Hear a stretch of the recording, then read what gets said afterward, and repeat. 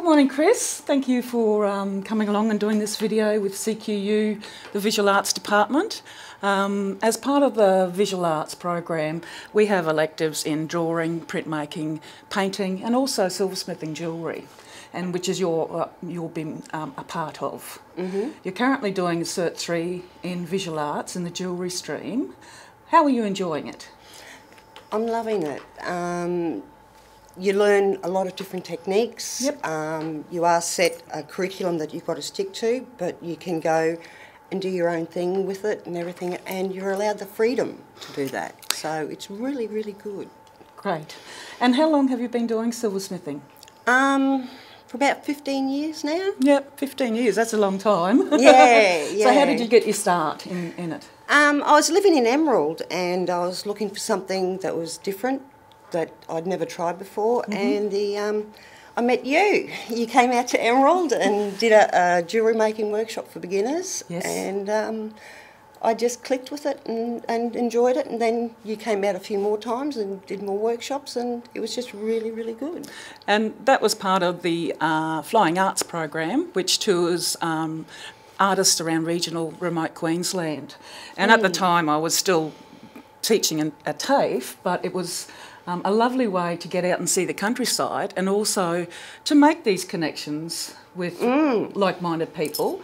And a lot of students that I did um, teach during the, the flying arts stage actually have then moved on and come into TAFE and started doing the jewellery making as part of our qualification here. Yeah, well, I always wanted to, because I heard about your course, and I always wanted to try and get down here to do it. And so it's when I actually moved down here closer that it gave me the opportunity to come and do it with you. Yeah. Fantastic. Um, Kris is out at Wowan, and um, so she travels in about an hour's trip each Tuesday for our class. Um, now, how, do you think this is like a serious profession for you, doing the visual arts program? When I first started, no, it was just something that was a hobby. Um, but now, yeah, it is starting to get more like that for me, yes. And how do you, um, you know, what do you do with your things that you make? Um, you know, what what are your achievements um, from jewellery making? Well, first off, my friends and family all got a lot of presents. Yes, I used to just give do. everyone everything away because I never had the confidence in myself to put myself out there to sell my gear. Um, coming doing this course, I've met a lot of women that are doing the course, and we formed a group.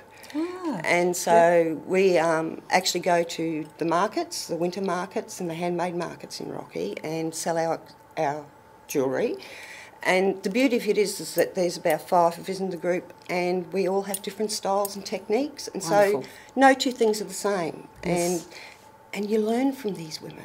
Uh, It's wonderful having um, a, a network and peer peer Yeah. group that you can um, join and, and work with.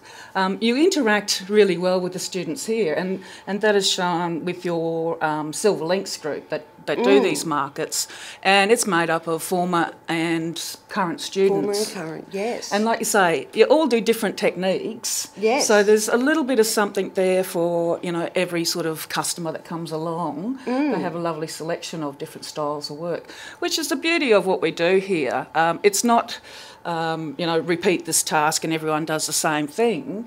Uh, I always try and ask you guys to you know take Put on your own own interpretation, yeah. Exactly, yes.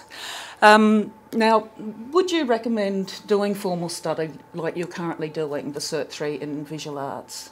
Um, yes, really. Um, it, it's as I said, it's given me confidence. It's um, I've learned to use the tools correctly, um, where before I wasn't, and things like that. And you know, it's just yeah, it's a good course. It is, and, and, and it's with other like minded people, and you do feed off each other. It's not only about the teacher student relationship, it's about the peers that you work with within that class and, and getting ideas and information from them too. That's right. Yes. Do you think you'll go on to film or study, do, do some more?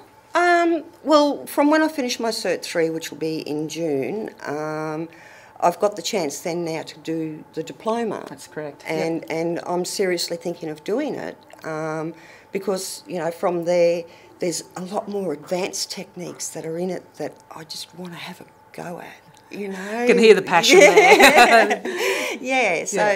yeah. I'm really seriously thinking of carrying on with the diploma. I think with what we do as visual artists, um, we never stop learning. Uh, it's it's an ongoing journey throughout the, the rest of our lives. And and you find that like when you go to different workshops, you know, you and you don't you don't stick to the one teacher. You you try to learn off as many people as you can because if you can walk away from that workshop learning one new technique or or something like that, it's been worth it. I totally agree with you, Kris. Yeah. Yeah.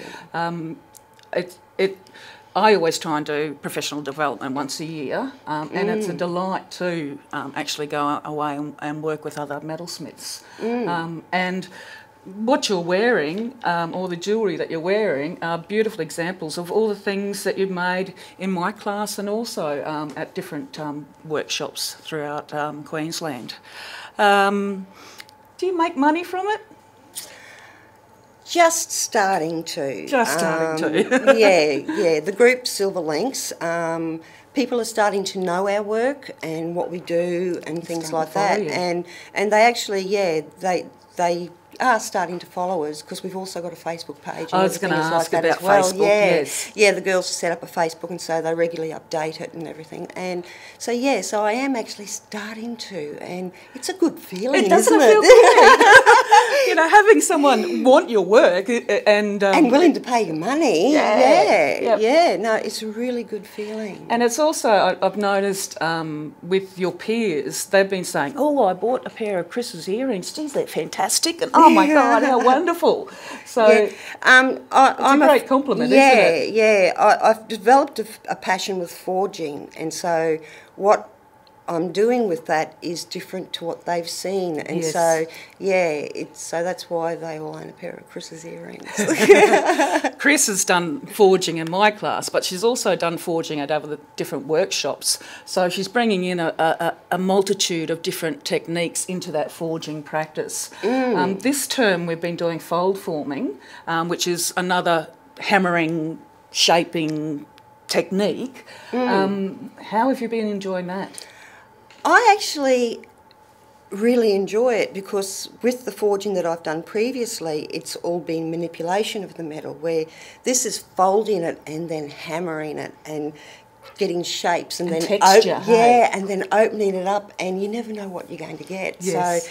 It's not as structured as the forging that I'm used to doing, and it's, like more the free free form. form, yeah, yeah, and so it's really good, and I can see the two working for me in the future. Excellent. Uh, You know, just having that passion um, really um, helps you guide your journey along. Um, have you been selling any fold forming pieces as yet? Well, I can't keep up with it at the moment. no, wonderful. Well, we've only done one market so far, and all the fold forming stuff and or any of the forming stuff that I've done's gone, and so I'm trying to get more made. That's great. The next market. Because we can do fold forming in silver, sterling silver, or also copper. And copper is a, a much more affordable Mm. um, material for silversmiths to use. Oh, yeah. And it's more um, acceptable in society these days to actually wear copper jewellery. Um, and blending the two too, the the two, silver and the copper together, um, you can get some really incredible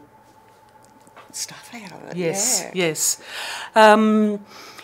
Now, any words of advice for, say, somebody that hasn't done any silversmithing or jewellery making before, or any of the visual arts before, and um, you know what what they should try Have and do? Yeah, have a go. Yep. It's, it's you're not limited by age, race, or anything like that with these courses. You know, you can be.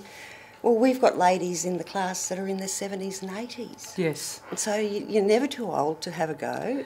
I agree. And Yep.